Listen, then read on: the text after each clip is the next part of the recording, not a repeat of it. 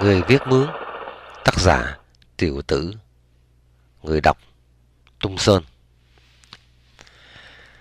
Ở chợ Plato, thành phố Abidjan, thủ đô cổ của xứ Côte d'Ivoire, Phi Châu, ai cũng biết ông già viết mướn đó. Người ta gọi ông là L'Écrivain Chinois, ông tàu viết mướn. Xứ Côte d'Ivoire thuộc vùng Phi Châu Da Đen ngày xưa là thuộc địa của Pháp. Dương bằng xứ đi học bằng tiếng Pháp. Và vì họ gồm nhiều bộ tộc, mỗi bộ tộc nói một thổ ngữ, nên họ phải dùng tiếng Pháp để hiểu nhau. Về sau, khi đã độc lập rồi, trường vẫn dạy bằng tiếng Pháp và ngôn ngữ tránh trong dân gian vẫn là tiếng Pháp. Những người ít học hay thất học thì nói tiếng bồi, có nghĩa là tiếng Pháp không đúng văn phạm. Mấy bà buôn bán ở chợ Plato nó chuyên thuộc vào thành phần này. Nhiều bà có con cái đi làm ăn ở Pháp hay ở Bỉ, lâu lâu cần gì xin hay cần nhắn gì, họ phải nhờ người khác viết cho cái thư. Ngoài ra, có nhiều người cần viết đơn từ thư gửi nhưng không đủ trình độ để viết đúng từ ngữ hành tránh nên nhờ viết dùm. Do đó mới có cái nghề viết mướn. Ở khu chợ Plato, Trước đây chỉ có người đàn ông trung niên người bản xứ làm nghề này. Anh ta hành nghề giữa cái hàng hiên khu phố nhìn qua chợ, nằm cách chợ một con đường. Chỗ hắn ngồi là một bức tường nhỏ nằm giữa hai cửa hàng bán radio của người Libyan. Dụng cụ của anh là một cái máy đánh chữ loại sách tay đặt trên cái bàn gỗ nhỏ.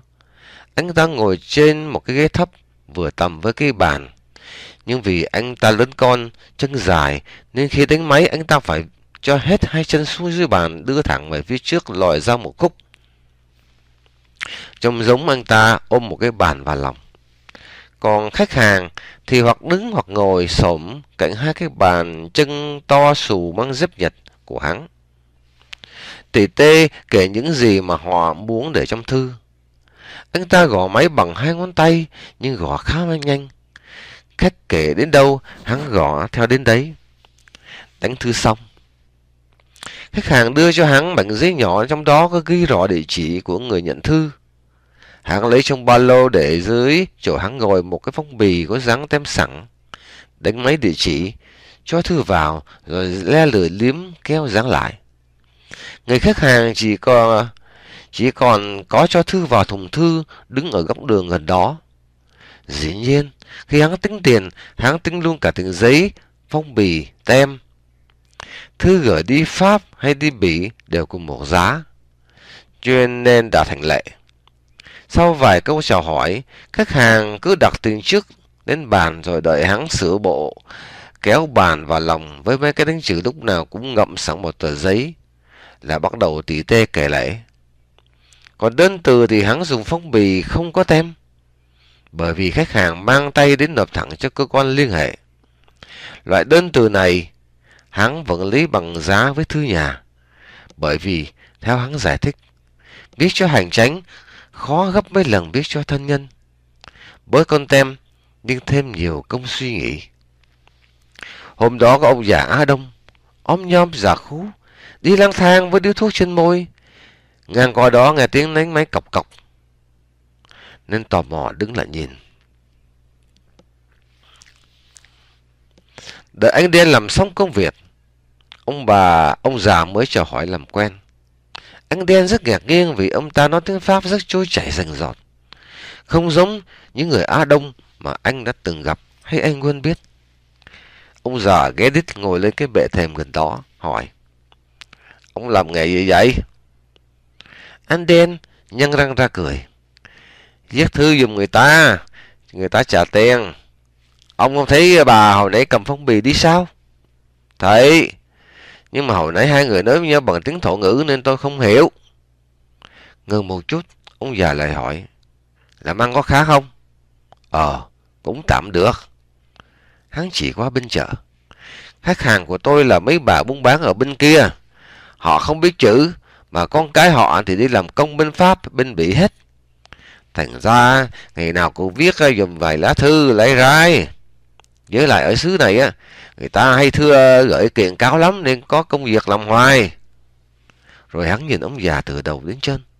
Còn ông, ông làm cái nghề gì ở đây vậy? Già quá ông ai mướn.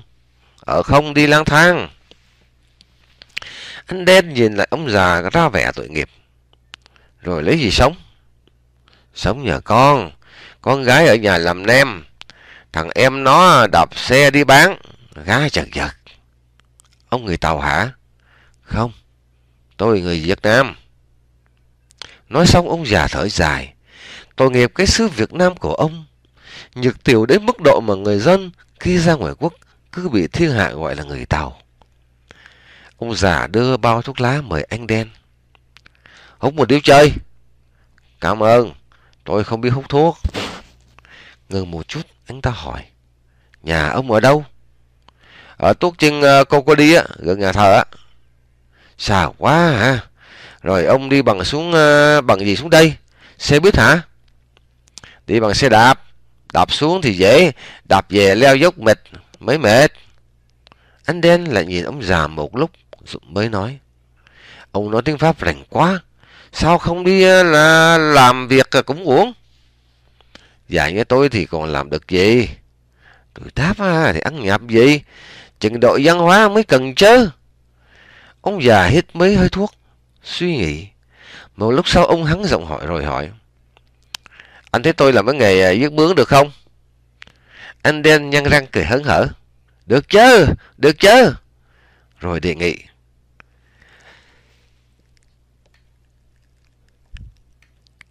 Ông cứ ngồi cái à, bên đây. Đừng ngại gì hết. Cả khu Plato chỉ có mình tôi làm nghề này. Có thêm ông càng vui. Thế dễ dàng quá. Ông già đứng ngẩn ra. Chưa kịp nói lời nào thì anh ta nói tiếp. Vậy à, sáng mai ông đem mấy đánh chữ ra nghe. Tôi không có mấy đánh chữ. Tôi viết tay được không? Giọng anh đen hơi xỉu xuống. Ờ, cũng không sao. Anh ra đây đi, rồi tính. Ông già mừng rỡ. Bắt tay anh đen nói. Cảm ơn, cảm ơn. Anh, ờ, ông tốt bụng quá. Rồi đi săn xóm về chỗ để xe đạp trước ngân hàng gần đó. Mở khóa lấy xe phóng đi đạp mà nghe như vừa bơm vào người một cái nguồn sinh lực mới. Mấy hôm sau, ông già xin được của hội nhà thờ một cái bàn và ba cái ghế bằng nhôm là xếp được để đi picnic. Ông mua một giấy viết thư, phong bì, tem, bút bi, rồi đạp xe đạp, chở bàn ghế tới ngồi cạnh anh đen, hành nghề viết mướn. Buổi sáng đó, trước khi rời nhà, ông lẩm bẩm. Bữa nay đúng là một ngày đẹp trời. Ông già đã ngồi đã ba hôm, chẳng một ai đến nhờ viết. Khách hàng cứ nhờ anh đen. Thế vậy, anh ta ăn ủi. Đừng buồn, từ từ rồi sẽ có khách. Tại ông không có máy đánh chữ nên người ta không biết đó thôi. Một hôm có hai bà cùng đến một lúc. Anh đen tiếp một bà rồi nói với bà kia. Nếu bà gấp thì bước qua ông đồng nghiệp của tôi đây. Ông giúp cho. Ông viết tay nhưng cần gì? Viết tay hay đánh máy thế cũng vậy thôi. Điều cần thiết là phải viết làm sao cho người đọc hiểu. Bà khách ngần ngừ một lúc, rồi bước qua ngồi cái ghế xếp trước mặt ông già. Như thông lệ, bà ta đặt tiền lên bàn rồi bắt đầu kể lễ bằng thứ tiếng Pháp không có văn phạm. Ông già ngồi chống cầm, lắng tai nghe. Thế ông viết bướm không viết gì hết. Bà khách ngừng kể, lấy làm lạ nhìn ông. Sao ông không biết Thưa bà, tôi đang nghe bà kể đây. Bà ta chỉ anh đen. Sao kỳ vậy? Ông ờ, làm không giống anh kia. Với anh ta, khi tôi ờ, bắt đầu nói thì anh ta bắt đầu gõ. Còn ông thì không giúp ích gì hết. Ông già phì cười, giải nghĩa chấm chậm. Xin lỗi, tôi ờ, phải nghe bà kể hết những gì bà muốn nói cho người con của bà. Rồi tôi mới sắp xếp câu văn để viết. Bà biết không?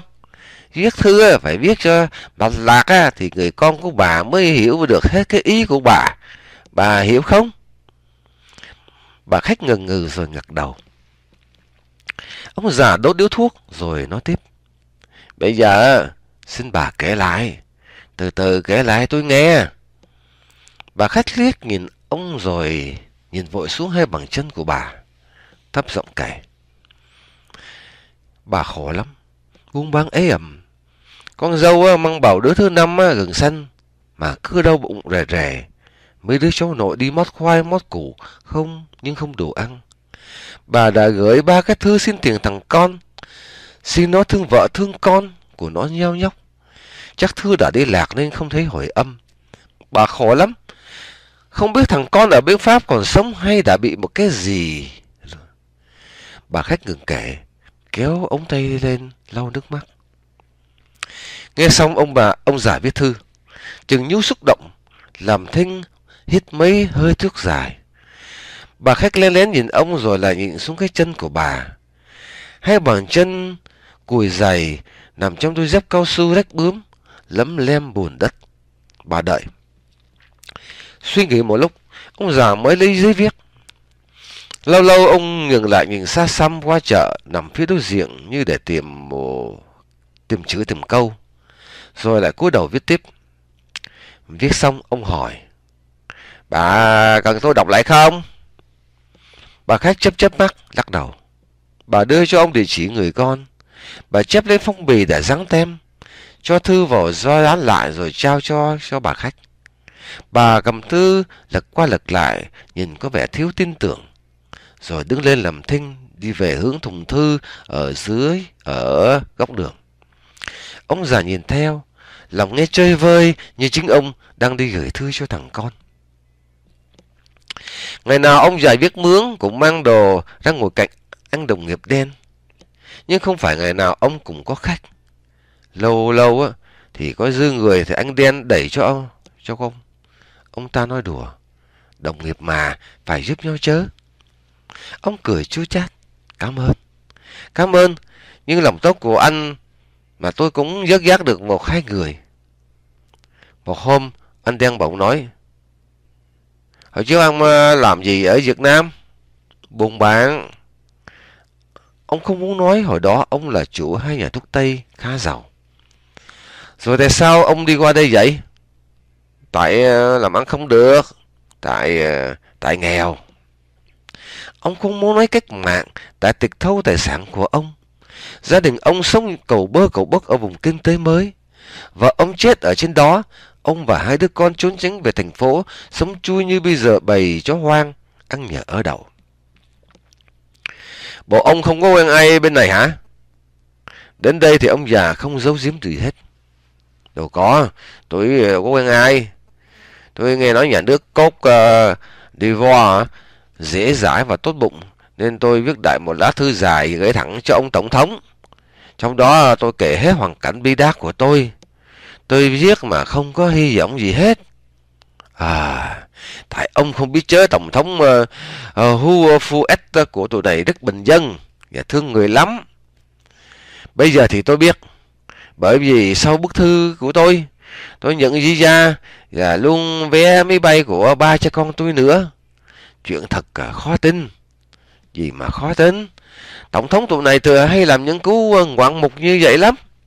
Chắc ông viết thư cũng phải hay lắm, nên mới làm xúc động. À, Le Vieux, tức là ông già. Ở Côte d'Ivoire, dân chúng thương Tổng thống Houphouët, nên khi nói chuyện với nhau, họ gọi ông là ông già một cách chiều mến. Hồi đó à, tôi viết giống như à, tôi muốn than thở với một người nào đó để chơi à, rơi hết nỗi thống khổ của mình. Chứ đâu về nhận được giấy tờ tôi như trên trời rớt xuống. Đến đây, ông già không nói rằng ông đã bán mấy chiếc nhẫn đại dấu, các dấu từ trận nhà nước đánh tư sản, để chạy lo vô hậu khẩu người bà con xa, rồi chạy lo chiếu khám số cảnh. Ông chỉ nói, hồi mới qua đến phi trường uh, Abidjan, cha con tôi không biết đi đâu và ở đâu. Tôi phân trần với à, uh, chính quyền sở tại á, họ điện thoại cho hội à, uh, Anson Dinosia. Dinochia. Như hồi này giúp nên tụi tôi mới có căn nhà nhỏ ở ờ, Cocody và có chút làm anh nem đi bán dạo. Sống lây lất với uh, bây giờ. Tôi nghe nói người Việt Nam tị nạn ở Pháp ở nhiều ờ, ở Mỹ nhiều lắm. Bộ ông không có bạn bè bà con định cư ở các xứ đó sao? Có chứ. Sao ông không viết thư cho họ? Kẻ đi trước giúp người đi sau là sự thương mà. Ông già thở dài, hít mấy hơi thuốc rồi mới nói. Tôi cứ viết thơ chứ. Ờ, viết uh, thăm hỏi dài dòng mà báo tin tôi đã đến ờ, uh, cốt d'Ivoire. Nhưng uh, không thấy ai trả lời hết. Có lẽ không đúng địa chỉ chăng? Đúng chứ. Nếu mà không đúng nó phải được trả về. Bởi vì tôi có ghi rõ địa chỉ người gửi mà. Hồi ở Việt Nam người thân của tôi người thân của họ à, cho tôi à, địa chỉ và tin tức. Nói vậy à, nói họ bây giờ ổn định và khá lắm. Ờ, sao vậy hả? Chắc là họ sợ tôi xin tiền. Ông cười khẩy một tiếng nghe như ông muốn gạt ra một cái gì chặn ngang cổ họng, một cái gì vừa cay đắng vừa nhầm tẩm. Ông nhớ lại hồi thời vàng son, bạn bè bà con của ông tới lui nhà ông ăn nhậu hà rầm, trong đó có nhiều người đã được ông giúp đỡ cứu mang. Vậy mà bây giờ, ông hít một hơi thuốc thật sâu, rồi nhả khói thuốc ra từ từ, làm khoảng trống trước mặt bị mờ đi. Giống như ông muốn xóa bỏ trong đầu hình ảnh của mấy thằng bạn bè, mấy người bà con mà ông vừa nhớ lại. Anh đồng nghiệp da đen suy nghĩ một lúc lâu, rồi nghiêng người qua vỗ vai ông vài cái nhẹ nhẹ. Một cử chỉ an ủi tầm thường như vậy, mà ông già viết bướng bỗng thấy nó đẹp vô cùng. Ông xoay người qua bắt tay em đen, không nói gì hết. Nhưng ông chắc chắn rằng anh bạn đã hiểu là cách cảm ơn của ông già Việt Nam lưu vong. Một hôm, bà khách đầu tiên của ông giải viếng bướng bang biếu cho ông hai trái xoài Cameron. Loại trái xoài xứ Cameron ngon nổi tiếng của vùng Phi Châu Da Đen. Vừa cười vừa nói. Tôi cảm ơn ông à. Nhờ cái thư của ông mà thằng con tôi hội tâm. Nói gửi tiền về à, kèm theo một cái thư dài. Nó nói đọc thư của ông nó khóc quá à. Nó lại lục xin tôi tha tội cho nó. Nó nói là nó có vợ và một con ở bên Pháp. Nhưng nó thề là sẽ gửi tiền về đều đặn để túi tụi này. Thôi vui quá, vui quá. Bà ta nói một hơi, nói tiếng Pháp bà si bà tú. Nhưng trong giọng nói đầy xúc động. Nói xong bà kéo ống tay lên lau nước mắt. Ông già nhớ lại cách đây hơn mươi bữa, bà cũng kéo áo lên lau như vậy. Sau khi kể lại sự buồn, buồn khổ của bà, thì ra cái vui có buồn vẫn giống nhau ở giọt nước mắt. Ông già mỉm cười. Tôi giết mướn, bà trả tiền, có gì đâu mà bà cảm ơn. Không nhờ cái thư của ông á, không biết tụi nhỏ à, tụi này còn khổ sở đến đâu. Cảm ơn, cảm ơn. Nói xong, bà đi chợ ra chợ. Ông già đưa một chiếc xoài cho anh đen. Anh cầm lấy để chia vui với tôi. Anh ta cầm chiếc xoài trên tay nhìn ngắm một lúc rồi nói. Làm nghề này đã hơn 5 năm. Tôi chưa được khách tặng bao quà bao giờ. Ông mới ra nghề mà được như vậy là ông về viết thư hay lắm. Thì cũng dán viết vậy thôi.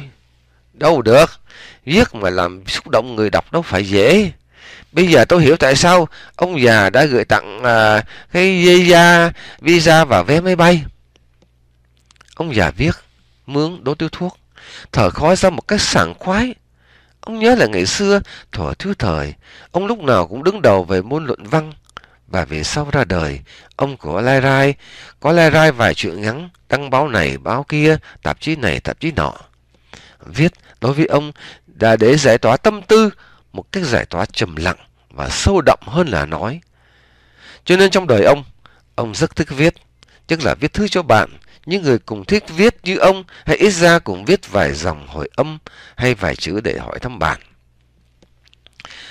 Hai hôm sau, có thêm một bà mang đến mấy trái cam để cảm ơn ông đã viết thư cho chồng bà đã có vợ đập ở Mỹ. Rồi cứ như vậy, vài hôm là có người đến cảm ơn, cho quà, khi thì chai đậu phộng. Ở đây sau khi ran, đậu được cho một cái chai lít đầy tới miệng để đóng nút để giữ cho được giòn lâu. Người nghèo bản xứ hay ăn đậu phụng với bánh mì. khi thì mấy cái trái cà chua, vài bó rau cải. Có gì cho nấy, không nề hà. Ông già nhận hết, bởi vì ông nhận thấy làm như vậy, người cho rất vui. Cái vui của họ được bộc lộ một cách rất thiệt thà. Họ quay lưng bước đi, vừa vỗ tay thành nhịp, vừa lắc lư nhún nhảy. Lần nào ông cũng nhìn theo, lòng thấy vui lây.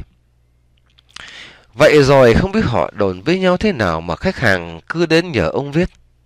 Những người cần làm đơn từ cũng nhờ nhờ đến nhờ ông. Bên anh đen đồng nghiệp thấy thư khách. Ông già bền đề nghị. Tình trạng này kéo dài quá kỳ quá. Tôi đề nghị anh bạn như thế này. Tôi lãnh viết thư nhà. Anh là lãnh viết đơn hành chánh. Mình nói là đơn hành chánh phải được đánh máy cho sạch sẽ, dễ đọc. Thì các cơ quan mới ờ, mau chóng cứu xét. Anh đồng ý không? Anh đen nhăn nhó ờ, căng cười. Bắt tay ở một già, một cái đầu điếng. Từ đó, thấy khách đến, anh đem trịnh trọng nói. Đơn từ thì ở bằng này, thư cho thân dân thì bước sang ông bà bạn là đồng nghiệp của tôi. Lần hồi, khách hàng cũng quen nên cả hai viết mướn cùng có việc làm đều đặn và càng ngày càng đông khách.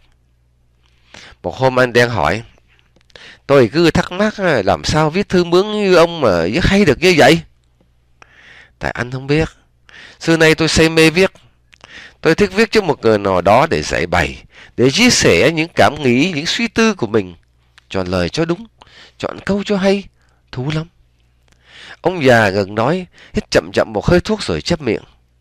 Bây giờ à, chẳng còn ai để mà giết. Bạn bè thì anh biết.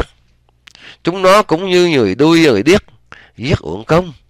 Cho nên làm nghề viết mướn này, tôi có chỗ để viết. Cái khổ, uh, tôi khổ cái khổ của khách hàng. Tôi vui cái vui của khách hàng. Tôi tâm sự cái tâm sự của khách hàng. Tôi viết với tất cả những cảm xúc chân thật đó.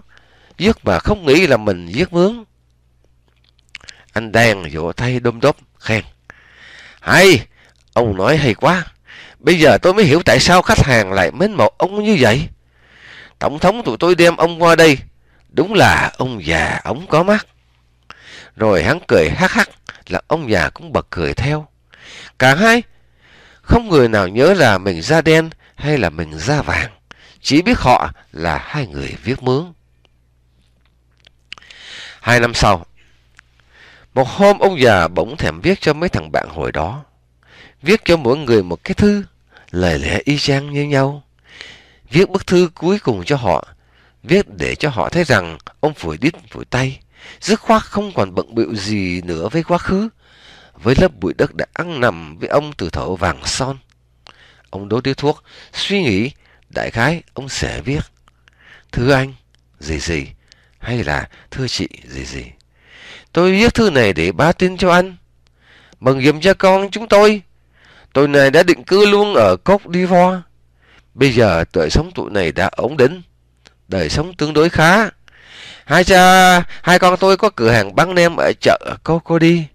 Thiên hạ đến mua cũng đông. Còn tôi thì làm nghề viết mướn. Khách hàng cũng nhiều. Được như vậy là nhờ xứ đen này, có người thấy đen, nhưng lòng dạ của họ không đen chút nào hết chẳng bằng người Việt mình. Nhiều người bên ngoài trắng trẻo lịch sự, nhưng lòng của họ chẳng những đen mà còn bạc nữa. Anh có thấy như vậy không? Nghĩ đến đó, ông già bỗng cười khang một mình.